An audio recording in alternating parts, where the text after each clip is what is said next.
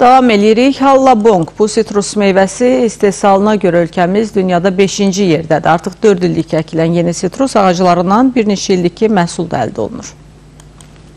Hallabong portağal və naringinin hibrididir. Bu bağlar Lənkəranda ilk dəfə 2015-ci ildən salınmağa başlanıb. İlk olaraq 15 hektarlıq sahədə sınaq əkini aparılıb. Nəticələr ürək açan olduğundan bir neçə ildə Hallabong bağlarının ərazisi 100 hektara kimi genişləndirilib. Bu ağac qışda meyvə verir. Meyvəsinin çəkisi 300-350 qram arasında dəyişir. Orta hesabla 1 hektarlıq bağdan 35-40 ton məhsul əldə etmək mümkündür. Bu da yerli sitrus meyvələri ilə müqayisədə bir neçə dəfə çoxdur. Bu sahadan indi yığırıq, yığmışıq. Bizim Hallabon sitrus meyvə bitkiləri biz xarici bazarlara göndərmişik. Həm də ki, Bakıda olan meyvə bazarlarına biz məhsul çıxartmışıq. Şaxtaya dözümlüyü 8 7-8 dərəcəyə şaxtaya dözür.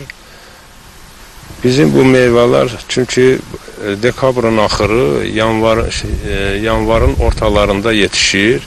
Ona görə biz məcburuq bunu polietilin pərdə ilə bükürük ki, meyvə də bir dərəcədə zay olur. Lənkəranın Sütəmirdov, Siyavər, Şürük, Təkəvilə kəndlərində hallabol bağları salınıb. Gələcəkdə isə digər ərazilərdə də bu sitrus meyvəsinin genişləndirilməsi nəzərdə tutulub.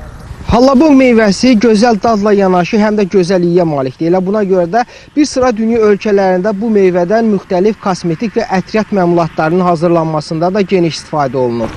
Hallabong ilk dəfə 70-ci illərdə təbii seleksiya yolu ilə Yaponiyada yetişdirilib. İstehsalına görə isə ölkəmiz Yaponiya, Cənubi Koreya, Amerika və Braziliyadan sonra 5-ci yerdə qərarlaşıb. Rəhman Məlikov, İTV Xəbər Lənkəran. Bu ildən tozda kartof toxumu yeni üsullarla səpilir. Bu da bitkini vaxtında zərərvericilərdən qorumağa imkan yaradır. Fermerlər sahələrdən bol məhsul götürəcəklərinə əmindirlər.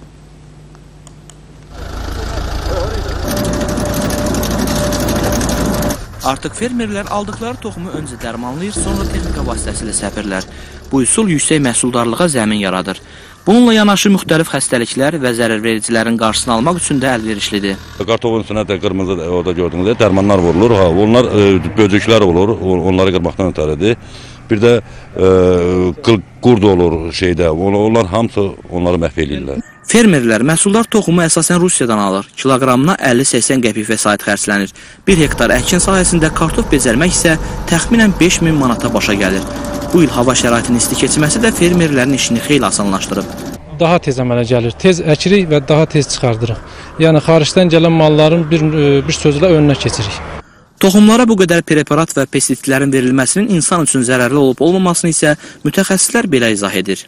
Pestisidlərdən istifadə edilən zaman ə, e, kartof yumurlusu, kartof bitkisi demək olar ki, xəstəlik və zərərvericilərdən mühafizə olunur və bu preparatların tətbiqi normativlərə qaydasına uyğun olaraq aparıldıqda insan ə, e, həyatı üçün heç bir zərəri yoxdur. İndi qalır fermerlərə öz rəhmətlərinin bəhrəsini gözləmək. Sağlam kartofu həm də istehlakçılar da tez alır. Sağlam, xəstəliksiz kartofu bezərmək üçün isə bu cür yeni üsulları tətbiq etməyə dəyər. Ruslan Əhmədov, Vaqif İbrahim Xəlil, İTV Xəbər, Tovuz.